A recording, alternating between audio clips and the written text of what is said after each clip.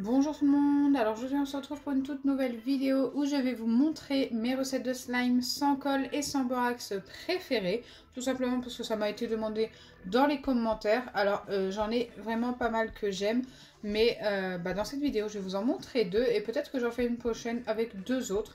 Donc c'est parti donc je vous fais régulièrement ce genre de vidéo où je vous montre les recettes de slime sans colle et sans borax euh, qui fonctionnent bien et que je préfère tout simplement parce que vous me le demandez et euh, ça me permet aussi, ça vous permet d'avoir un petit récap de ce qu'il y a de mieux à faire et de plus simple. Donc moi la première recette euh, de slime sans colle que j'adore et que je vous ai déjà montré plusieurs fois, c'est celle avec la pâte à modeler Foam, il en existe plusieurs, moi je vais vous montrer celle que je préfère. Donc vous ajoutez de l'eau à la pâte à modeler, de la mousse à raser et vous obtenez un slime juste top. Donc c'est ce que je vais faire en vidéo. Et la deuxième, donc celle-ci je la fais pas très régulièrement mais je l'ai refaite en vidéo il n'y a pas si longtemps, c'est euh, de la pâte à fixe. Alors moi je prends celle de chez Jiffy, je vous la recommande à 100%, elle ne coûte que 1 euro. Il me reste qu'un tout petit morceau mais j'en ai assez pour vous montrer la recette. Donc de la pâte à fixe et du gel douche seulement. Vous allez voir, la recette est méga top. Avant de commencer, n'hésitez pas à liker et partager, n'hésitez pas à vous abonner si ce n'est pas encore fait et à activer la cloche des notifications. Et j'aimerais remercier tous ceux qui se sont abonnés dernièrement et tous ceux qui sont abonnés qui sont toujours là. Euh, vous êtes assez nombreux en ce moment et franchement ça me fait super plaisir.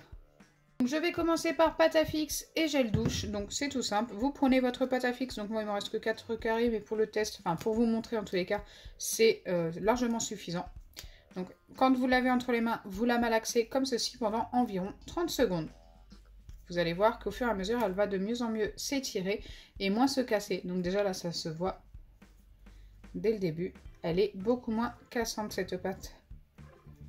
Mais il faut bien la travailler 30 secondes, hein, que ça chauffe bien entre les doigts tout simplement.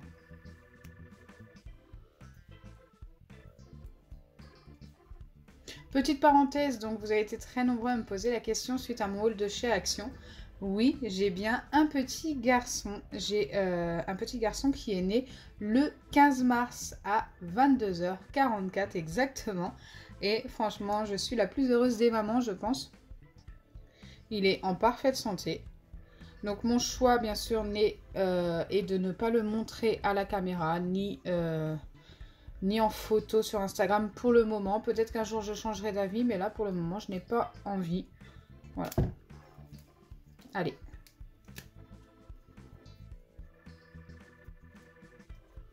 Donc là, je pense avoir assez travaillé. Et maintenant, je n'ai plus qu'à ajouter du gel douche, donc en plusieurs fois. Allez-y tout doucement au début, un tout petit peu. Ça va beaucoup glisser au niveau des doigts et tout. Ne vous inquiétez pas. Hop. C'est tout à fait normal. Donc vous voyez que j'en ai plein sur le creux de la main. Et je vais récupérer ça au fur et à mesure.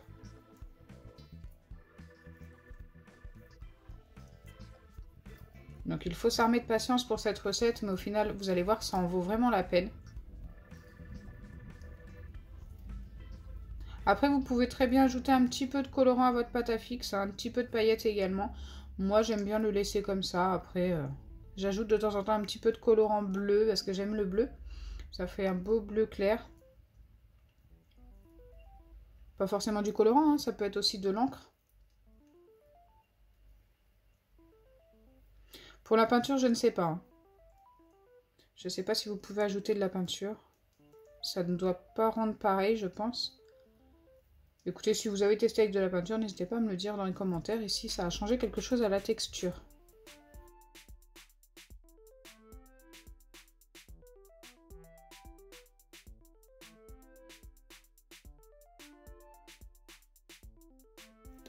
Regardez comme ça commence déjà à changer. Écoutez, ce n'est pas encore assez à mon goût. Vous allez voir que si j'en ajoute un peu plus, ça va encore mieux s'étirer. Ça va être juste top.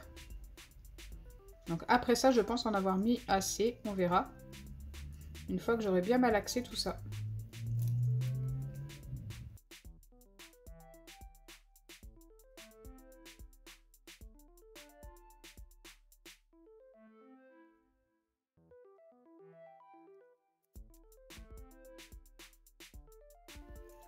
Donc là, j'ai bien tout malaxé et la texture est pas mal, mais pas encore à mon goût. Donc pour le coup, je pense en avoir assez, mais pas du tout. Je vais en remettre une dernière fois.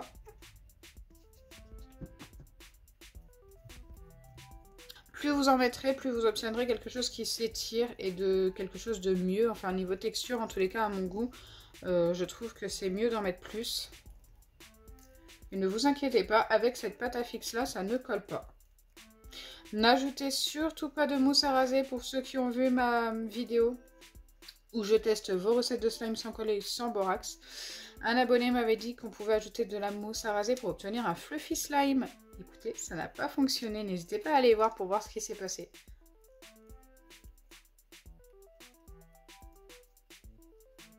Ok, là, franchement, j'aime beaucoup le résultat. C'est juste top. Regardez comme ça s'étire énormément. Et encore, je pourrais l'étirer encore plus, mais bon, vous ne le verriez pas à la caméra.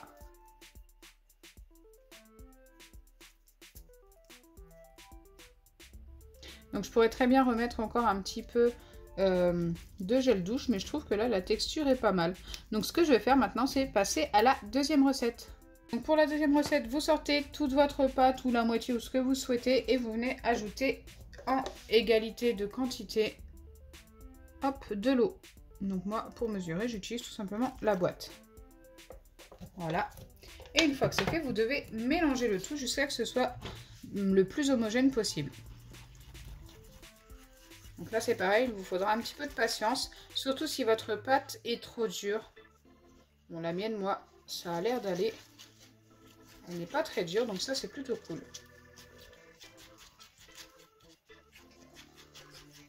Donc surtout, mélangez bien.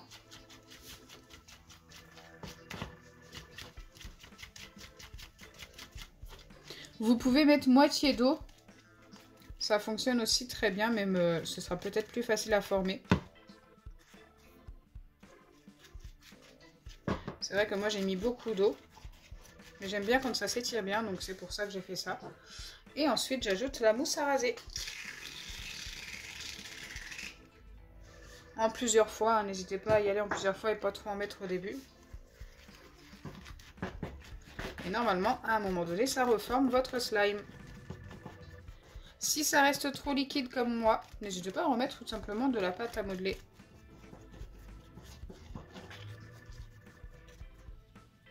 moi, ça commence à se former un petit peu. J'ai peut-être été un petit peu généreuse avec l'eau, mais ce n'est pas très grave. On va essayer de remettre de la mousse à raser, et si ça ne se forme pas, je remettrai un petit peu de pâte à modeler. D'une autre couleur, parce que je n'en ai plus de la verte, mais ce n'est pas très très grave.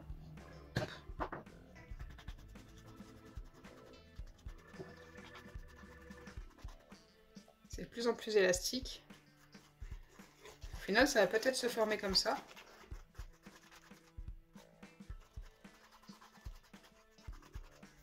Donc je continue.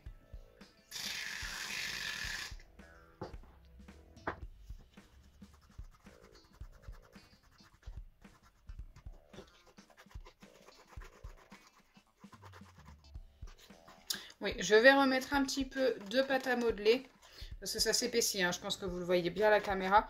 Mais je ne pense pas que ça va assez s'épaissir pour se former. Donc de la pâte à modeler, j'en ai encore pas mal. Et pour le coup, il m'en restait une verte. Je ne savais pas. Donc c'est parti.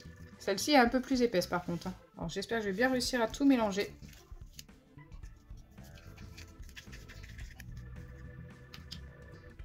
On va voir déjà avec ça ce que ça donne.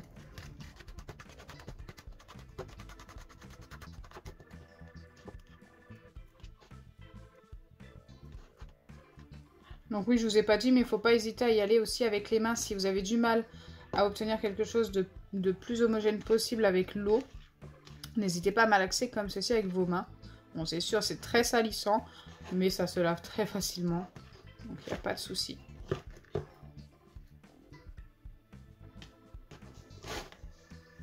Allez, je vais tout mettre. On va être généreux. Ce n'était pas prévu, j'ai mis un petit peu trop d'eau. Je pense que j'ai voulu être très généreuse avec l'eau, me dire ouais bon bah allez, on va avoir un slime plus grand. Et au final, quand on en met trop, c'est pas le top. Avec les pâtes à modeler rebondissantes, donc sans les petites billes comme ça de chez Action, ça fonctionne avec beaucoup d'eau. J'ai déjà fait le test. C'est pour ça que j'étais confiante pour celle-ci. Je me suis dit que c'était pareil.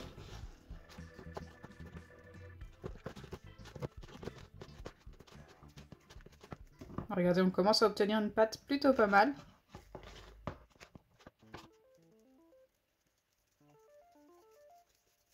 N'hésitez vraiment pas à la travailler à la main comme je fais, vous allez voir qu'au fur et à mesure, ça ne va plus coller aux doigts.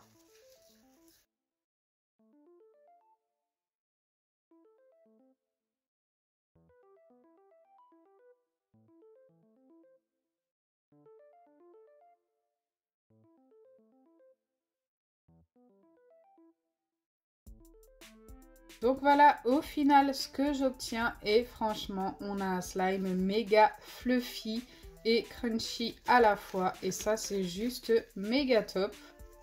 Avec seulement trois ingrédients, de l'eau, de la pâte à modeler et de la mousse à raser. Donc c'est assez long à former, surtout si vous faites la même erreur que moi et que vous mettez trop d'eau au début. Mais franchement, ça en vaut vraiment la peine également.